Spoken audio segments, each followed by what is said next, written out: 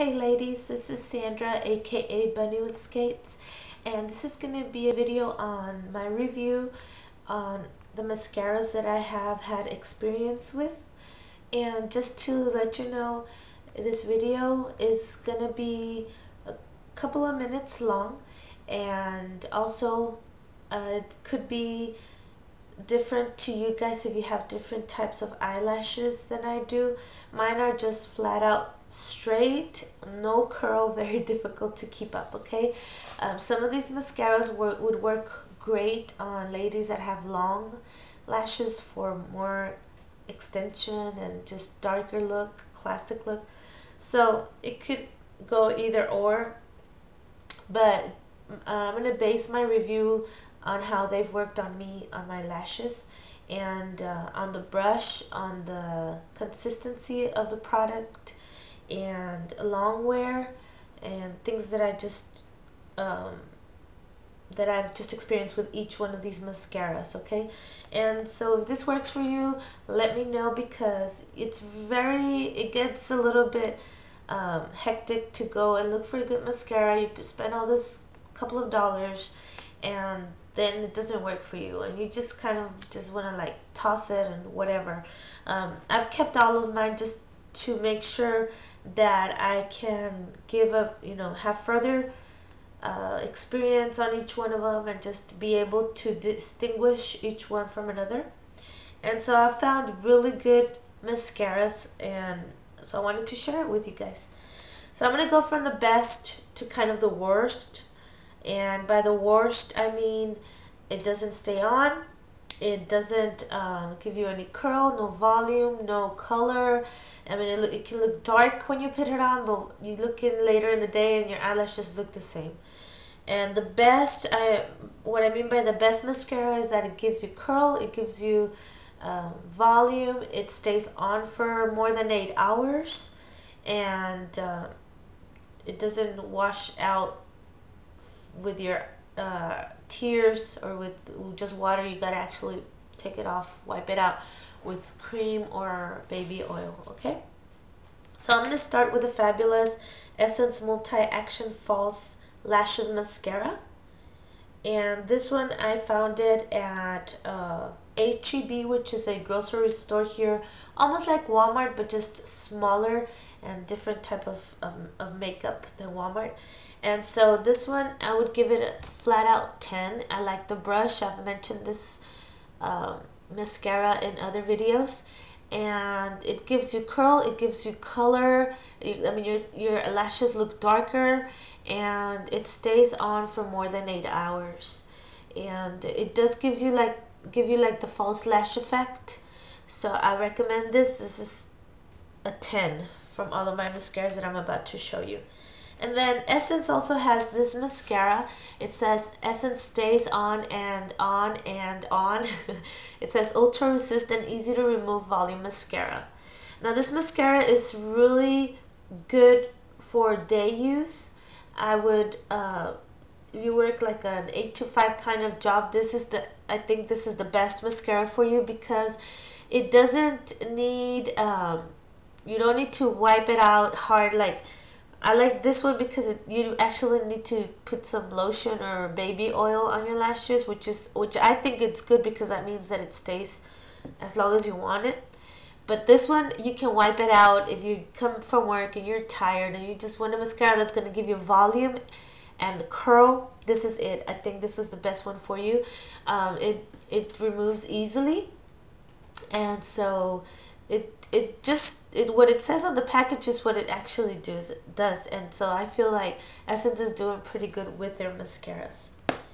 Then the next uh, mascara that I love is the MAC Zoom Fast Lash Mascara.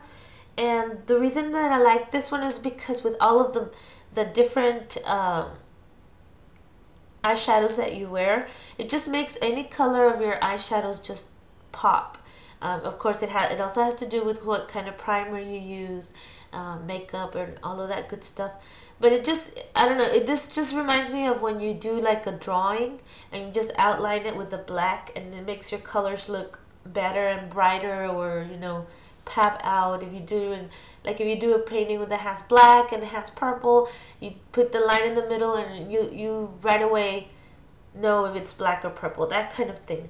So mac zoom fast lash i love this. It's perfect for your for when you do family pictures or close-ups. I recommend this one. Let me go ahead before I move on, let me give you go ahead and give you the the show you the brushes of each one. This is for the essence. The second one, uh, the stays on and stays on. This brush it has like a little curve in the middle, so when you're putting it on, it it actually lifts your eyelashes. And then the MAC. This is the MAC one. It's straight, but I curved it a little. I kind of did this number but it's pretty thin at the end and then then it goes a little bit uh, thicker towards the inside of the of the lash thingy so it's really nice to to use uh, and the the brush is pretty separated it's not very close so that it makes as you build in your eyelashes it makes them look it, they open it, it opens up your eyelashes and then it gives you that color you need. Then this one is um, a mascara that my friend uh, Devon gave to me. It's the Mally Volumizing Mascara. And now this one is really good. I never heard about this. I just tried it and I looked it up. The brush is all thick from the beginning towards the end and it gives you a lot of volume and it gives you a lot of uh, uh, it just makes your eyelashes longer so it gives you a lot of length. And this one I liked it a bunch more than than the other ones just because this one it's it's gonna stay but if you come and you just get like those makeup wipes and you take it off it'll come like completely off. And I'm using the elf um, face wipes and I mean that could that could do it could be that the wipes are just that good but this one it what I mean by this mascara is that you don't have to like come back and take off all the dark uh, lower lid area you know when you have to come back and wipe out the dark this one doesn't do that. So I recommend this also and I'll give this one a 9 compared to the essence and the blue essence I give it a 9 and the MAC I give it a 9 now this other mascara is from number 7 and it's a line that I've only found at Target. Uh, this one I give it an 8 and this one has really good quality. The consistency is really good. The pigmentation is really good. And uh, the only reason that I'm giving it a 9 and not a 10 is because the brush is is very unique but at the same time you gotta work with it. And uh, so this is what I mean. This is called the extravagant lashes mascara. And this brush I have never seen anything like this before. It's like a box. I don't know if you could tell. It's like a box so you gotta it's like if you were to get a small box and you're like turning your eyelashes with a little box kind of thing now, the cool thing that I like about it is that it ha it carries a lot of product in there. The product is really good. It stays on. It it doesn't give you that much of a curl, but it is dark and they and as you build it, it gives it a little bit of length. So I would give this one a 9 because it stays on, it gives you a little bit of length and the brush is just, it's very unique and it's very flexible. It's not like a hard thing that you're gonna like you know be working at it. No it's gonna go with your with the flow that you're doing your lashes. So it's flexible and it's soft. And this is like I said it's a number seven extravagant lashes and I found it at Target. Now this next mascaras there's there are three mascaras that I'm gonna give an eight to and the next one is the L'Oreal mascara now this one I give an 8 to because it get the brush is very good. It starts out thick, it goes thin, and then just you know just medium length to the inside. And it always has to do with the brush also because if you if you don't have practice, you know on your lashes if you don't if you don't have practice on how to build up or if you don't know that you know with the tip of the of the brush you can actually work the length on the outside of your lashes. Then um, you you might not be you you might not find all of the brushes useful if you know what I mean. But this one I give it a 7 no I give it an 8 yeah an 8 because it, it does stay for a long time. It gives you curl it gives you length it gives you color. Only that after about five hours it'll start flaking. That's what I found with this. And so I mean it is still good. It, it, it stays on but it just I, guess because it just depends on what kind of weather you live what kind of state. Here in Texas it's really hot and so I think that has to do with with the just the, the kind of climate that I live in. But it works really good and I like it a lot. So this is I give it an, an 8 then the next mascara that I like it's a Colossal Volume Express Mascara from Maybelline. Excellent mascara. It, the bristles are very close together. They're they're very brushy. Uh, it, you just know that for example if you what reminds me of this this brush is for when you you straighten out your hair. If you use a brush that is tighter you know that it's gonna stay uh, or that it's gonna get flatter easier. And this is what I feel with this mascara. Um, you gotta build up you do because it doesn't like the brush is so close together but it doesn't hold a lot of product you kind of got to go in there and take it out. And uh, so once you start building up it'll give you that length only I I think that if it doesn't stay for a long time then it doesn't work for me because I mean I can put a lot but then it's gonna look like the spider kind of leg kind of look. And so this one it gives me that length it gives me that curl but then like after four or five hours it starts coming down and then my I, my eyelashes look like if I have spider legs. So um, I almost used all of it up anyway. I liked it even though it came out pretty quick. Um, I kind of had it in my purse. And was building up again in the store wherever I was. But this one I give it an 8 then I have this one also is the Glam's, Glam Eyes Lash Flirt Volume and Lift to Mascara from Rimmel. And this one is really true to, to what the package says. It stays on for a long time. It gives you the length and the curl that you need. Only I am not very uh, this kind of brush I'm not very savvy on how to use it so that could be the reason that I'm giving this one an 8 but the product is very good. The brush is just thin and then it's long. Uh, it, it, almost looks like if you have a mohawk and then air I mean hair going out of your ears kind of thing.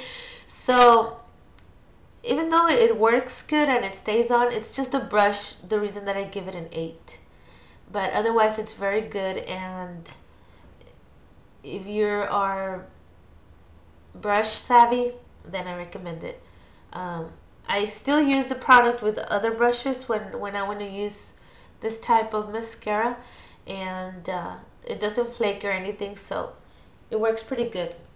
Like I said only if you want to use another brush then it's up to you. Then the telescopic carbon black L'Oreal mascara. This is the mascara that I like for using it during the day like when I go to my mother-in-law's house or you know when I'm taking her to the doctor or something uh, it's just a very classic it gives you a classic long dark look. The brush I'm not a big fan of the brush either but it just kind of like it does it does give you the product it carries enough product for you to do for it to do the job. So um, I recommend that I give it an 8 the product is very good it stays on it gives you that long look it you know it's just like the lashes that you close and open your eyes and you could tell that you're wearing or it, it almost looks like you're wearing false eyelashes with this of mascara. So I give this mascara an 8 now the next three mascaras I give it a, I give these a 7 and the first one that I'm going to review for number 7 is the Hard Candy uh, Curl Up and Dye Lash Curling Mascara and this is a really good mascara. It has a very different type of package, which is I think pretty cool. Um, only if it doesn't it doesn't make my lashes stay up like I would like it. The brush is very cool. It's kind of it gives it like a curve there.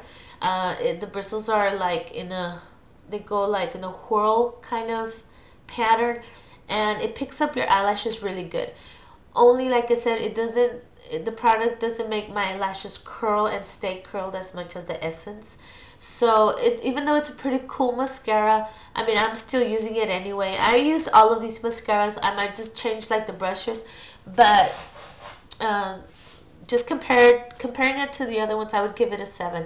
Um, I recommend it to the girls that have the long lashes um, that might need a little bit of curl. I think this would work great on you. So this is the Hard Candy Curl Up and Dye Lash Curling. And this one you can find it at a Walmart. Then my other number seven is going to be the Rimmel Waterproof Sexy Curves Full Volume and Curve Mascara. Now, I love the brush on this, only it's kind of watery. That's the only reason I'm giving it a 7. It's kind of watery. It makes your eyelashes really dark. They can curl and, and stuff but I think it's because of the consistency that being it being too watery. It almost looks like you didn't put any mascara on after maybe like an hour. So this one um, it's it's pretty cool. But like I said not to my eyelashes. I think this one would work good on someone that has really short eyelashes and just a little bit of curl. You know what I mean? It's just like this one would just like help it help them look darker and just you know but I would give it a 7 so sexy curves full volume and curve mascara a 7 then my other number 7 is going to have to be the Falsies Volume Express. Okay I heard a lot of buzz about this mascara and you know I think because the at first I was thinking positive. I had seen all these ladies on YouTube giving a great review on this one. It didn't work for me at all because my eyes are a bit drier. So I don't know if it has to do with that and also the climate, but after about five, six hours, I would see all kinds of flakes here. Uh, it just, I mean, you could tell that I was that my mascara was falling apart, like literally, because I could see all of the flakes around my eyes. And so it, I mean, also inside of my eye, and it kind of, like I had a uh, particle size kind of uh, of mascara in my eye, and it kind of just dissolved. But it's still not, I don't think that's safe for my eyes. I don't know. I think that it just uh, it, it needs better consistency. It's not that uh, mild. It's just a little bit watery, in between mild and watery kind of consistency. So it works, but I'll still give it a 7. Then another number 7 is also from Essence No Limits Volume Mascara Waterproof. Um, and this one, I, I, because it's Essence, I thought that it would work. And it was obviously I bought this one I tried this one before the other two but the brush is pretty medium uh, and it, it the bristles are really close but what happened with this one is that also the consistency was pretty watery and so it wasn't it didn't give me the length or the curl that I needed.